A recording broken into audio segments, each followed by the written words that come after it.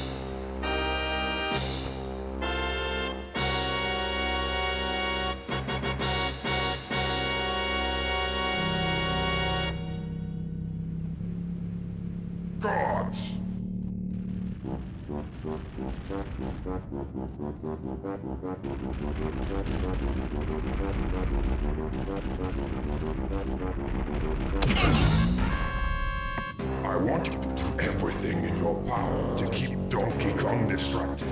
Steal that hoard of golden bananas he treasures so much, and take care of his pathetic friends. This time there can be no mistakes.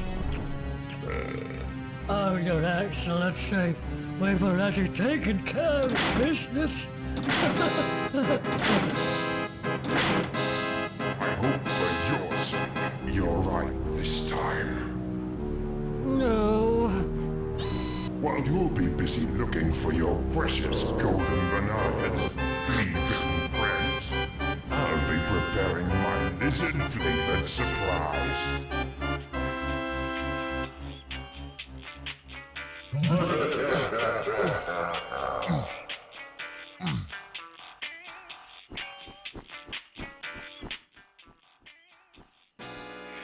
Rock! DK, DK, come quickly! They're gone! They're all gone! Rock!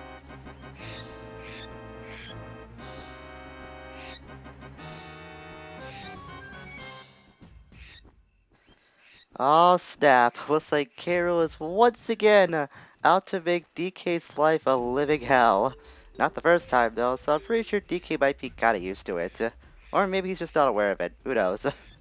So before we leave DK's house, we can actually see a few interesting details inside said house. Oh, I didn't know the parrot was actually outside waiting for you. That's something I never paid attention to before. By the way, that's Squawks. He's a recurring animal buddy throughout the DK series. So, above this girder, there's a portrait of a dolphin. You might think that would be a little out of place, but that's actually a reference to the codename of the Nintendo GameCube that was being developed at the time, just known as Project Dolphin. Also the hammock and a picture over there, the boombox. Now this quarter, this quarter is very interesting. And one time in the beta version of this game, there was a Banjo-Kazooie object here. Some people call it, it was a shower. I saw other people call it as a fridge. The fact is that there was an object here with that image on it, but it was removed in the final version of the game. Coincidentally, there was a DK picture inside Banjo's house in Banjo-Kazooie's beta version as well, but I'm pretty sure that was a placeholder, nothing more than that. You can also slip on these banana peels to make DK uh, slip on his butt if you're lucky enough. Kind of a funny detail about that. So now let's go outside and see what all the hubbub is about. It's a pretty calming area, I must say so myself. DK really knows, uh, knows where to live. Rock! Your precious banana hoard and all the other Kongs have vanished! I can't find them anywhere, DK. You'd better go tell Cranky the bad news. Brock! Don't know why I made Squawk sound like he's part Shaggy, part Parrot for a second. Maybe that's the way I'd be able to betray him? I don't really know. Quite frankly, I don't really care, because Squawks isn't that important. I mean, he will be a bit of a help going on in our adventure, but uh, not like majorly, majorly important. Anyways, let's just follow his orders and go tell Cranky what's been going on lately. Pretty sure the old coot is not gonna be happy about this. It's got his own lab too. Well, it isn't my lazy, good-for-nothing son. Lost your golden bananas again? And where might your flea-bitten friends be? You don't know, do you?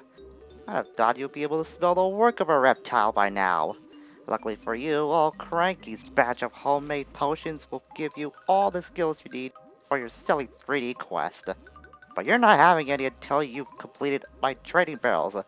Now buzz off and come back when you've done them all.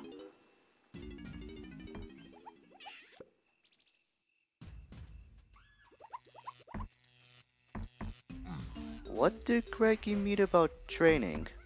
Don't get all confused. Come on, Donkey, it should be as easy as it sounds, but then again, look at DK's physique. This this ape looks like he needs training to you. He's pretty much one of the most built characters in Nintendo's franchise, in my opinion. As far as I'm concerned, DK doesn't need training, but just to abide the old coot, I guess we'll have to go through these training barrels. This is simple tutorial stuff, so we'll be able to get through this very quickly. Like with swimming, for example. Press Z to dive underwater, then hold A or B at different speeds to swim. Pressing Z will act as a water brake to slow you down, prove yourself by collecting the coin at the bottom. A good advantage that you'll find this game when it comes to swimming, no oxygen meter.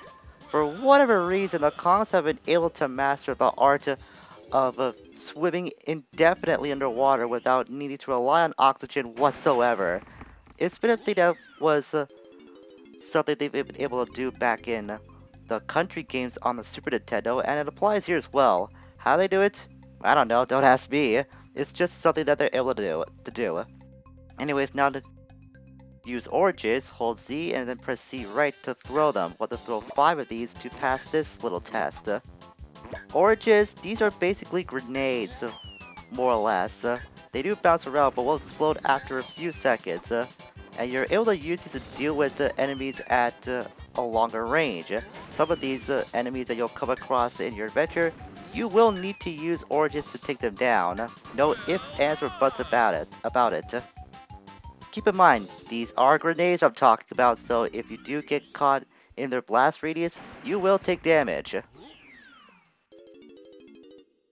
We'll go to that sparkly barrel, and let's go to the one that's not sparkly because we're a rebel. We play by our own rules. And this is teaching us how how to to toss barrels actually. So barrelception up in here already. Just press B when near one and then press it again to throw it. You can also walk around with the, a barrel if you want, but you move pretty slowly. It's no surprise there. And that's this taken care of. There's other controls we will go over that the game won't explain to us uh, because this is the only bit of tutorial nonsense that we'll be going through. So I will go over what more of the controls do after we do get through all of this and get to Cranky. See, so this learning how to swim from vines. Press A to leap from one to another, and then press R when holding onto a vine to face the other way. Press D to drop from a vine. Just like in swimming, we'll have to go collect a coin to prove ourselves worthy to the old coot. Climb up and do so. Uh, besides, wow, I'm terrible. I'll admit climbing onto vines and just trees sometimes I have a little bit of a problem with. I don't know why. It's just something I'm not like perfect to do. It's not that hard to take care of. Just something I do have some difficulty with for whatever reason. Brock! Hurry, DK! Go and get that potion from Cranky and let's get going! Brock! So we heard Cranky call DK his son when we first met him. That is entirely false. Cranky is actually DK's grandpa. DK's father is DK Jr., who did have his own game. Who we're controlling today is not DK Jr., but actually referred to as Donkey Kong III. It's a bit of a weird family tree that Nintendo did have some hand in making that mistake of that distinction for like a few years, but they did eventually rectify that information in their games. So to put it to, to or to, to summarize it, this is DK the third. DK Jr. is his father, and Cranky is his grandfather. Just something I want to bring up because uh, that was a misconception that was going around for quite a while. Hmm. You took your time, Donkey. Jungle Rush set in, did it? Here, drink this. And this is our first power-up of the game, the Simian Slam, or the Buttisbashium. Uh. We'll be needing to come across Cranky every now and again to get these kind of power-ups. Uh. Right, you your missing bodies will be able to slam the ground by pressing A to jump, uh, and then Z while in the air. It should get you out of this area. Oh, one more thing. I've got a real treat for you, but only if you bring me 15 banana medals. I think they look like this. I'll see you later, if you're lucky. We will be needing Cranky, like I said before, on our journey, because we're getting more than just a simple ground pound, like so, in order to uh, get through with our little, as he called, silly 3D quest. So to go over more of the controls, see up brings you to first person view. I want to do that to show there's a pool of uh, oranges at the bottom of that uh, little, well, pool. but the game starts you with 20 oranges every time you start a new file, so don't have to worry about that for now, unless you're like a kleptomaniac and want to collect stuff anyways. So let's see, we'll go here. This is supposed to be our Steve Banana Horde, or at least what's left of it. I wanted to come up here to just to show off that there's the Banana Horde here, and there is this little thing in the center. This is a dirt pile, and we can't do anything about that for quite a while. Just keep that in mind for later. You can slip on these banana peels as well, though, which is, again, pretty fun to make DK slip on his butt if you're able to get that to happen. So A jumps, which is no uh, no big surprise as this is a platforming game. B while moving does a, does a dash attack. Z and B while moving does a roll move for DK, which is pretty good if this isn't fast enough for you. Remaining stationary while pressing B will make DK do a two-hit combo. If you press B again while in this animation, you can do a third strike. You'd think with something like that you have to hit the B button three times. No, it only just takes two inputs. Let's see what else. There's the long jump, just hit Z and A while moving. The high jump, crouch with Z, and then press A. Do a high jump, and I think that's about it when it comes to like uh, ordinary controls. Uh, we can climb up some trees like this solid one, uh, but not all trees are going to be climbable, uh, like the striped ones. Can't interact with these whatsoever. You have to jump onto a tree, and then you can use the control stick to go up or down the tree, press A to get off, or just reach the top or the bottom of said tree. So I think that's all there is we can do in terms of stationary controls. There's another dirt pile here in this cave, but we get some coins that are surrounding it. so We're gonna need those on our adventure too, uh, and that's all we can do uh, in terms of quote-unquote progress in this area. So now with our new Simian Slam move in our possession, we're gonna head outside and start this adventure for real. So let's roll through here. These switches, depending on their color, will determine what kind of move you need to use. In our case, it's our ground pound move. That's basically what the Simian Slam is. If you played a platform before, then you know what a, a ground pound is, especially if you played Mario. So now that we hit the switch, let's head outside and get some fresh air.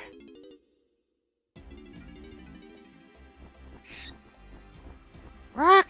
He's back, DK! King K. Rool's island is just over there! He must be the one who stole your bananas and kidnapped the other Kongs! I'm taking a quick look around, but the only area that hasn't been blocked off is that island with a cave on it over there.